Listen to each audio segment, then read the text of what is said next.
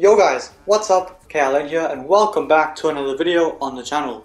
As you guys can see we're an Ultimate team and today I'm going to be reviewing 86 rated FUT Fantasy Emre Can. So he does look like a very very good card. 84 pace, 82 shooting and passing with 84 dribbling, 87 defending and 91 physical. Looking at the player bio, he's 6 foot 1 tall, medium high work rate, a right footed primarily with 3 star skills which is unfortunate but he does have a 4 star weak foot coming in at around well roughly 313k, that's how much I bought him for. Looking at the player details, you can start at centre mid, centre back and CDM. Got the Borussia Dortmund links, the Bundesliga links and the Germany links as well. Looking at the attribute details on the card, I did read out the face stats to you guys. So as you guys can see, I have gone for the powerhouse chem style. The pace on the card, 72 acceleration is pretty low. So if I think it needs a boost, maybe I'll switch it up, give him catalyst or something.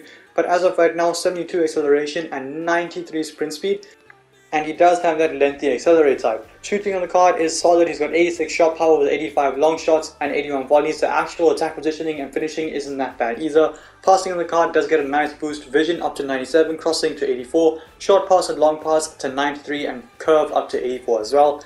Dribbling isn't great, but it's not too bad to be honest with you. 87 reactions and dribbling, along with 85 composure and 84 ball control. Defending looks absolutely ridiculous. 96 interceptions, 90 heading accuracy, 87 defensive awareness, maxed out stand tackles, and 88 slide tackle. Physical is obviously the best part of the card. 96 jumping, 92 stamina, so I'm expecting him to last the full 90. He's also got 90 strength and 91 aggression.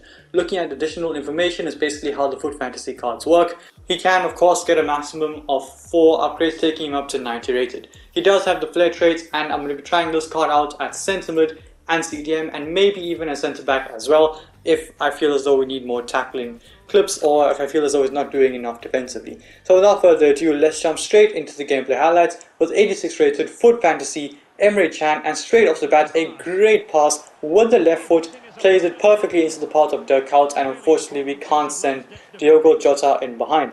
But moving on to the next clip, Kuyt gets it into Emre Can, takes the touch, and tests out the power shot on the card, and that is a very good save from the goalkeeper. Very straight, that angle from Emre Can to take the shot from, but regardless, a good shot nonetheless. Here, a great turn and another good pass, a fancy pass, just using that flair trait on the card, but unfortunately, again, once we get the ball to Jota, we can't really turn. Good tackle from Alexander Arnold, and we do end up losing possession.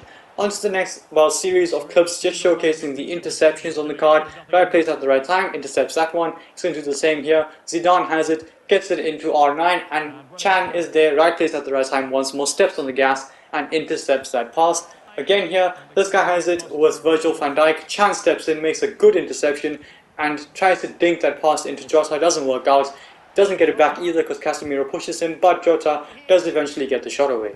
On to the next clip, Can once more at the CDM position, wins the ball back, good strength to hold up his man, strides forward, gets it into Jota, and Mane comes back and collects it from an offside position. We're not done just yet here, a vital, absolutely crucial interception, sticks out a leg, and well basically pokes it back to Manuel Neuer, and once more, very similar to the well, previous clip, the clip before the crucial interception, just sticks the leg in, wins the ball back and gets it forward to Mane. But taking a break from the defensive side of things, showcasing the first goal of this video, Gerard gets it into Emre Can, that is great skill, gets past his man, and on the left foot, smashes it into the top corner. Great finish from Emre Can, and we do have, like I said, the first goal of this video. Moving on to the tackles on the card, starting off with a ridiculous slide tackle from Emre Can. Honestly, R9 is basically through there, but he steps on the gas, wins it back, and we do make a great tackle there and we make another great tackle here. Sliding in Casemiro takes a slightly heavy touch exposing the ball to Can just a little bit and we do win it back. Here look at the jockeying on this card. Very very quick to get into the tackle wins back with the maxed out stand tackles and we do retain possession. He's going to do the exact same here. This guy tries to turn Emre Can immediately hard at his back and wins the ball back and we can go forward. But moving on to the more technical side of things the passing on the card. He has the ball here, drills that pass into Sadio Mane. Great pass, but Mane unfortunately couldn't turn. Here he drops into the CDM position. Harvey Elliott gets it into him, and he makes a good pass into Dirk Kuyt, who is playing a centre mid, and he slips it in behind. Jota's through and smashes it into the back of the net. By the way, if you guys want to see a video on him, there is a video on the channel. I did make one earlier today. Here Emre Can with some great dribbling takes it over Frenkie de Jong and we do get fouled but Dirk Kuyt's pass isn't really the greatest and we do lose possession.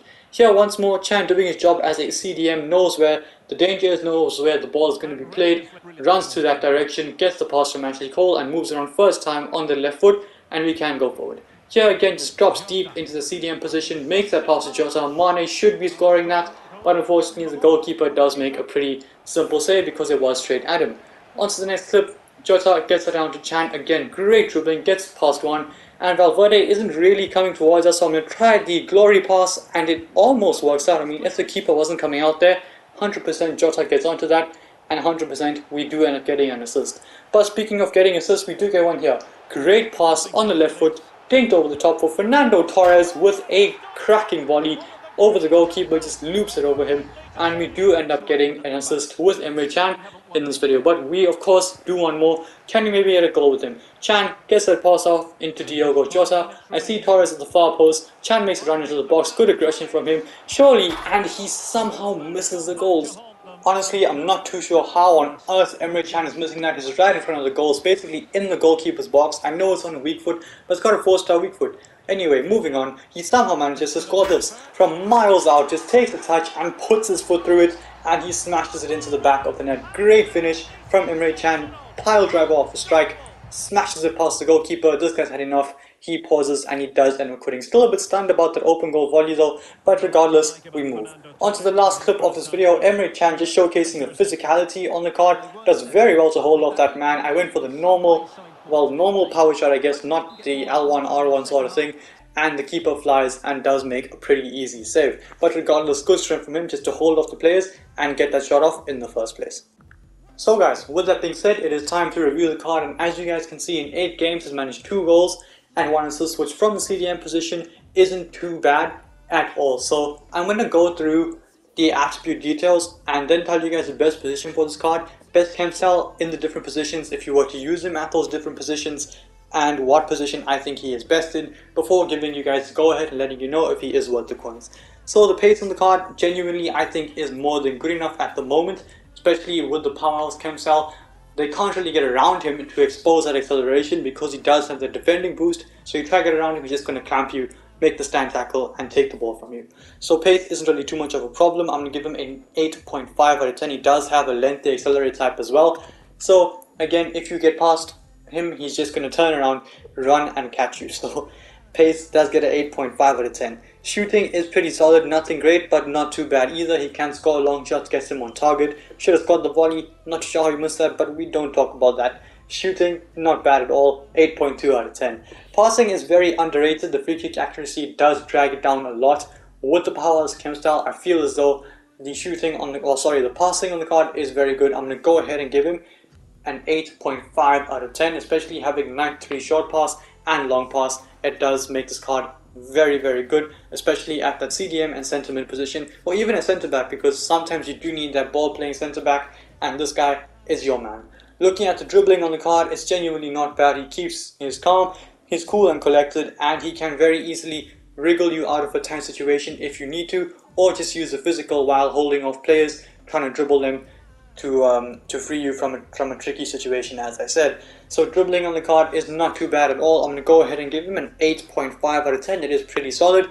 Although it doesn't have the best agility or balance, it's good reactions, good dribbling and good composure and he does have some solid ball control as well. He can keep the ball close to his body when dribbling around players. Defending is honestly ridiculous this guy. Just put in a tackle, just press the button, press circle or press square or whatever it is for Xbox or whatever button you use to stand tackle or slide tackle, just press the button and he will just make sure that he wins the ball back. He can be halfway across the pitch, he'll slide the length of his own half, win the ball back, and he will take it forward for you guys. But on a much more serious note, genuinely defending is sensational. Interceptions are ridiculous. It's basically a Bundesliga Patrick Vieira. Essentially, that's the best way to describe it. Interceptions are absolutely godlike.